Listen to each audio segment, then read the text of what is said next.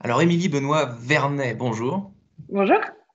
Euh, est-ce que vous avez un souvenir d'un achat en ligne, euh, euh, e-commerce donc, qui vous est marqué, profondément marqué? Si vous avez bonne mémoire, peut-être vous pouvez revenir 5-6 ans en arrière, ou peut-être à l'inverse, quelque chose de plus récent, vous choisissez? bah écoutez, je vais plutôt m'orienter vers quelque chose d'assez récent.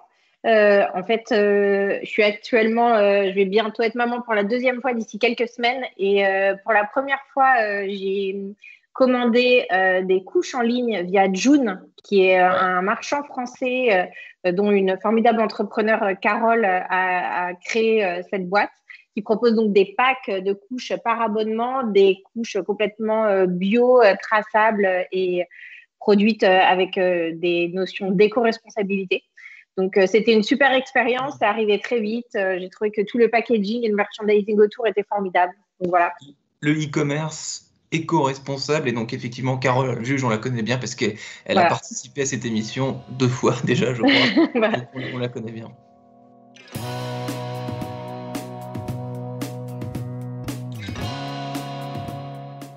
Bonjour à tous et bienvenue au Talk Décideur du Figaro en visio, toujours avec aujourd'hui euh, bientôt maman. Euh, on vient de, vient de nous, nous, le dire. Donc la frontière pro vie perso, bah, c'est un débat sans fin. Voilà, on en a encore, on en a encore un exemple. Vous êtes country manager France, euh, DG France hein, pour faire simple, euh, de la société canadienne Shopify qui permet de lancer son business en ligne, en gros, euh, de créer facilement sa, sa e-boutique. je vous prie de ne pas rougir, Émilie Benoît Vernet, mais je crois que vous avez fait partie des, des sociétés qui ont bien marché, si je puis dire, pendant, pendant la crise qu'on vient de traverser, a, fortiori pendant le, le confinement, parce que votre activité, en gros, c'est de lancer sur le web euh, des, entreprises, des artisans, euh, des petites sociétés qui n'y sont pas, par définition.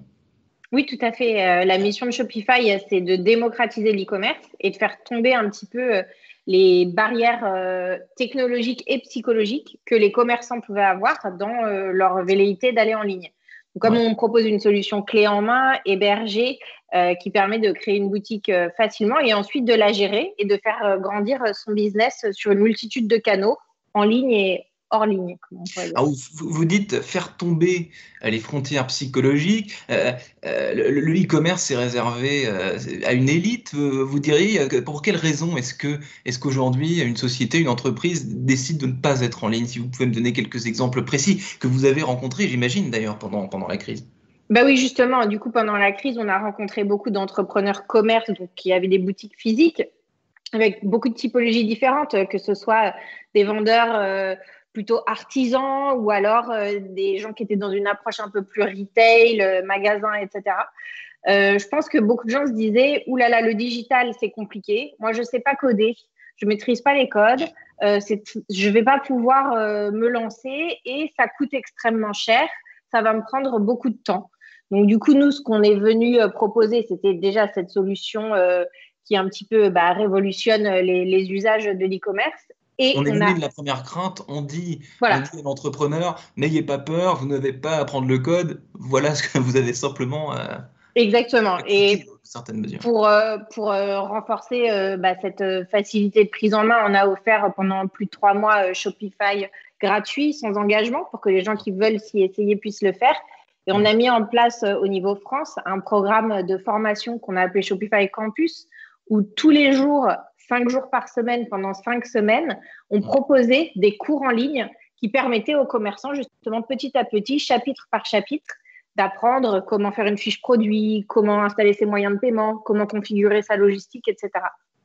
Alors, dès lors qu'un artisan, donc vous allez me dire euh, quelle sorte de commerçants vous avez accompagné vers le mhm. e-commerce? C'était des boulangers, des épiciers? C'était, quelle catégorie, euh, si je puis dire, de, de, de commerçants? Alors, euh, il y a vraiment un petit peu euh, toutes les typologies. Si on se concentre particulièrement à ceux qui ont été impactés euh, par la crise, donc, dont les magasins hein, se sont retrouvés fermés. Là, on va trouver des artisans. on va trouver un boucher dans le 12e arrondissement, la boucherie Berdèche, qui voilà, a créé un site de vente en ligne pour proposer aussi ses produits traiteurs. On va trouver un pépiniériste dans les Hautes-Pyrénées qui a mis en place une formule de drive qui permettait à ses clients de commander en ligne et de venir récupérer leurs achats ensuite en magasin. On a aussi des cavistes, beaucoup de gens dans le domaine des commerces de bouche notamment, qui, qui se sont dit bah, on a des produits à écouler. Et aussi un très bel exemple, je trouve, ce sont les vergers de Galie. Donc, mmh. les fermes de Galie qui sont en Ile-de-France et qui proposent la visite dans la ferme pour euh, récolter euh, des fruits et légumes, ben, ne mm. pouvant plus proposer ça et ayant beaucoup de produits à écouler, a mis en place un site de vente en ligne également. Mm.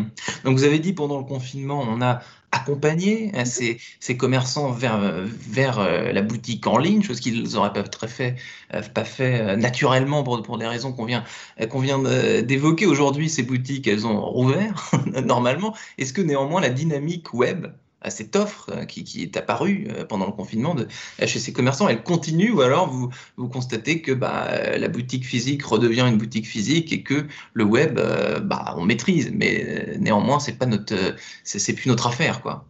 Je pense qu'à aucun moment, les personnes qui se sont lancées se sont mis dans une optique de c'est l'un ou l'autre. C'est-à-dire, c'était plutôt un complément, un nouveau canal de vente qui venait enrichir leur offre et leur apporter de nouvelles opportunités.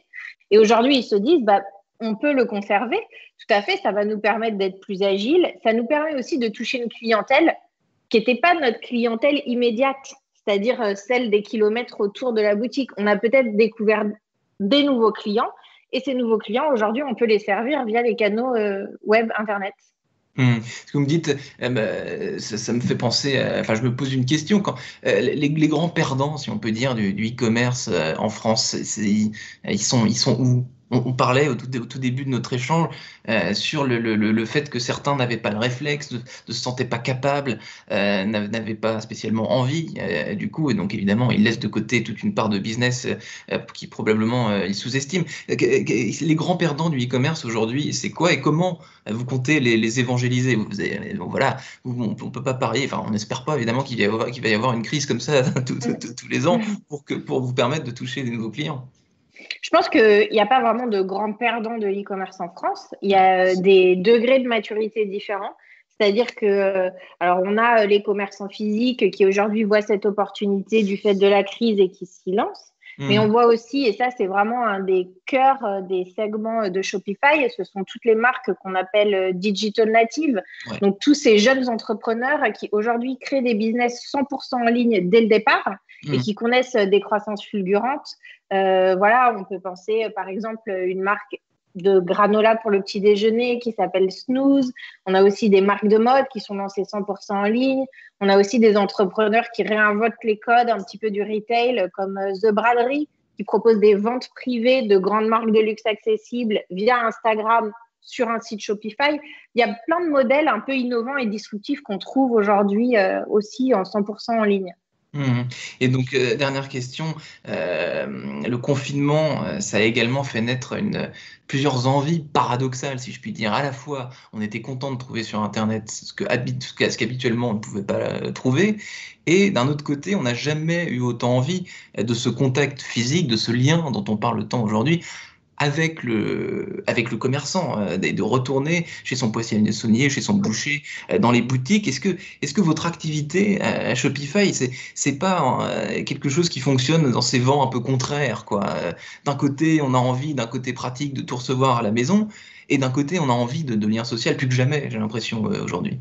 Alors, moi, je dirais que ce qui est assez différenciant dans la proposition de valeur de Shopify pour quelqu'un qui fait du commerce, c'est que nous, on propose une relation en direct du commerçant vers son client. C'est-à-dire mm. qu'à différence de d'autres modèles type marketplace, il y a quand même un échange et une communauté très forte autour des marques qui vendent en direct, qui leur permet quand même de garder un contact avec leurs clients, de mieux connaître le client, d'adapter les produits, de les fédérer via les réseaux sociaux, etc.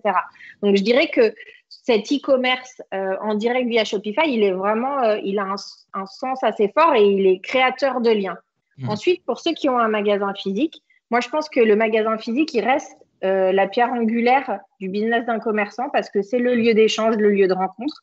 Qu'aujourd'hui, on voit aussi que ces lieux physiques, eh ben, ils pivotent un petit peu. Ils peuvent devenir euh, des endroits où on va pouvoir envoyer des articles depuis le magasin. C'est-à-dire que le lieu euh, physique se réinvente et a d'autres usages, peut-être un peu plus concept store ou showroom, où le commerçant va partager d'autres expériences avec ses clients.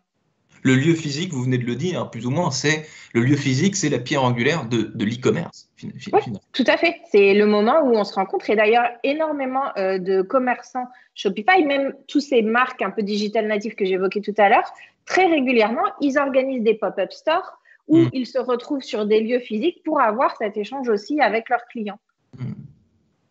Je crois qu'on a tout dit. Merci infiniment.